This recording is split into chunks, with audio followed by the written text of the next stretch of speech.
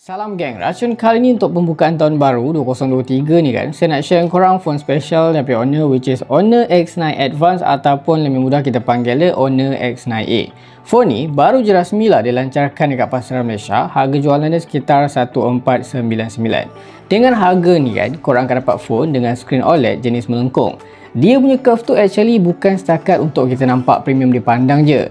Dia punya ketahanan screen ada dekat phone ni memang lain macam lah boleh kata next level. Untuk range harga 1499 ni first time lah saya jumpa phone screen curve dengan level ketahanan macam yang ada dekat screen curve Honor X9 ini. Yang mana kejap lagi saya akan tunjuk kat korang macam mana ketahanan dia tu nice gila. Next battery pun besar sampai 5100 mAh, storage pun besar 256GB, RAM total 13GB, kamera pun ada improve, performance pun boleh kata agak smooth jugalah. So, kalau korang nak tahu apa yang best, apa yang kurang, jom kita mulakan racun sekarang.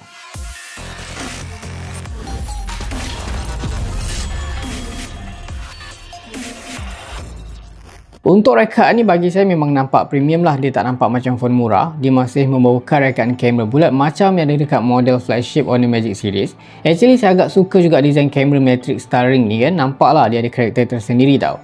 Dan bila pegang pun, feel dia bagi saya memang nice tau. Grip di tangan, phone pun ringan. Berat dia sekitar 175 gram.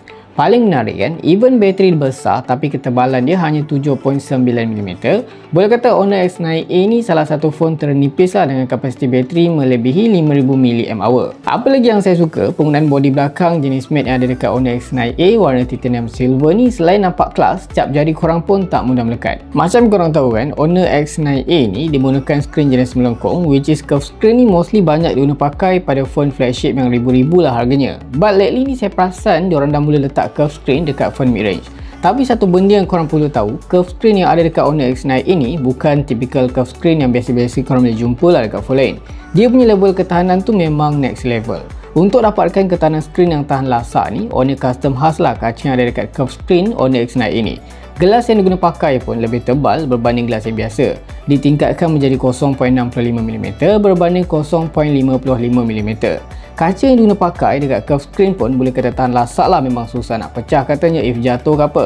Diorang pakai super reinforced glass. Dan untuk buktikan kalau curve screen diorang ni memang betul-betul tahan lasak bukan main-main, owner run beberapa ujian ketahanan yang sama dilakukan pada flat screen. Surprisingly, screen melengkung yang ada dekat Honor X9 ini telah melepasi 33 ujian ketahanan macam drop test, rolling drop dan macam-macam ujian lagi. Tak habis sampai situ tau. Punyalah confident gila Honor ni nak bagi tahu kalau quality produk diorang memang betul-betul premium Honor siap kasih jaminan 180 hari pertukaran skrin percuma yang dipanggil Honor Gold Label. Tapi spec on paper memang nampak clean, semua boleh sembang kan. Apa kata kita cuba try test sikit lah ujian ketahanan dekat skrin Honor X9 ini pecah ke tak? Jom kita tengok. Okay, so untuk ujian pertama ni kita akan cuba ketuk skrin ni pakai walnut yang Honor hantar ni. Kita nak tengok power tak power skrin dia. Katanya memang tak pecah, so kita akan cuba. Korang tengok dulu first kali. Walnut ni agak keras tau. So kita akan cuba satu, sekarang ni saya dah buka screen protector dia. Bismillahirrahmanirrahim. Harap tak pecah. Okey. Satu pecah. Tak ada masalah. Kali kedua kita try. Uff, gila. Tak pecah geng. Maknanya memang terbaik lah screen dia. Okay, so untuk test kali kedua ni, kita akan cuba jatuhkan drop test dekat lantai. Tengok macam mana. So ni ketinggian lebih kurang dalam paras lutut macam tu lah. Bunyi dia memang kuat gila. Takut pecah. Tapi macam korang nampak memang tak pecah tak ada sebarang pecah langsung memang terbaik. Kita akan cuba buat lebih tinggi sikit kali ni. Bismillahirrahmanirrahim. Huh, seram pula bunyinya. Ok masih cun. Tanpa sebarang isu tanpa sebarang crack dekat pucuk semua cantik geng. Terbaik Selain level ketahanan screen dia yang ekstrim macam korang nampak kan, spek dia pun not bad tau. Boleh kata agak premium lah di dalam kelas dia. Bersaiz 6.67 inci, dia pakai panel OLED lah untuk sedap mata memandang. Support juga 1.7 bilion warna, DCI P3, 120Hz dia punya refresh rate dan juga 300Hz dia punya touch period untuk lebih respon bila korang tengah gaming. Ok, untuk keterangan screen dekat sini, max tu boleh cecah 800 nits lah which is bagi saya masih ok untuk penggunaan outdoor di bawah syai matahari. For the first time pula kan, Honor X9A ni dilengkapi dengan teknologi 1920Hz high frequency problem dimming untuk eye protection. Oh ya, yeah, untuk korang yang selalu risau pasal mistouch yang selalu berlaku dekat curve screen ni masa tengah gaming ataupun pegang phone, korang jangan risau sebab Honor dah pun ada cara untuk solvekan isu ni dengan features AI anti-mismatch algorithm yang terbina dekat dalam phone ni. Beralih ke bahagian prestasi macam mana kan? Okey tak okey. First kali korang kena tahu kalau Honor X9A ni dikuasakan dengan chipset kelas pertengahan, kita ada Qualcomm Snapdragon 695 5G dengan binaan 6 nanometer. Digabungkan dengan 256GB storan dalaman, ada 8GB RAM dan tambahan 5GB turbo RAM so menjadikan total RAM ada dekat phone ni 13GB RAM. So far untuk penggunaan harian setelah saya pakai phone ni berminggu-minggu macam tu Saya boleh katakan kalau penggunaan harian day to day use tu memang tak ada isu langsung Memang smooth je.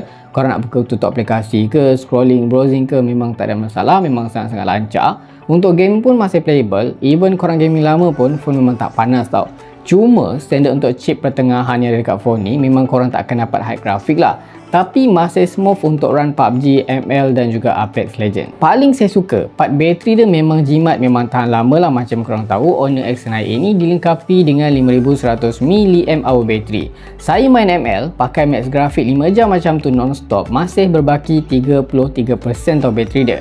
Kalau korang just lain social media, buka map, browsing, gaming dalam sejam dua macam tu memang seharian bateri phone ni boleh survive dengan screen on time max boleh dapat dari 8 ke 10 jam macam gitulah. Untuk pengecasan, korang akan dapat 4 kilowatt Honor Supercharge yang tersedia di dalam kotak. Okey, macam mana pula dari segi kamera? Okey tak okey, nice tak nice kan? First kali kita tengok spek dululah. Kalau korang tengok dekat belakang phone ni, korang akan nampak kalau phone ni dilengkapi dengan triple camera setup. Dalam kedudukan dia menyerahkan kamera yang bulat macam tu memang sangat-sangat rare, sangat-sangat unik dekat sini. Untuk kamera utama dah pun ditingkatkan menjadi 64 megapiksel. Dia juga ada 5 megapiksel untuk ultra wide angle dan juga 2 megapiksel untuk macro camera. Manakala untuk kamera selfie, kamera depan disaput 16MP untuk dapatkan gambar selfie yang lebih clear dan juga sebagai penambahan dia ada mod bokeh untuk background blur dan juga mod AI beauty. Kalau korang masuk dekat dalam aplikasi kamera, dekat sini bagi saya UI itu memang friendly user lah, sangat senang digunakan. Korang just swipe kanan swipe kiri untuk tukar dia punya mod. Dekat sini ada portrait mode, ada mode malam, ada aperture, lepas tu ada foto, video. Untuk resolution video paling tinggi boleh rakam 1080p 30fps sahaja. Next dekat sini ada multi video, lepas tu dekat dalam mode ni ada story, high res, ada pro dan banyak lagi.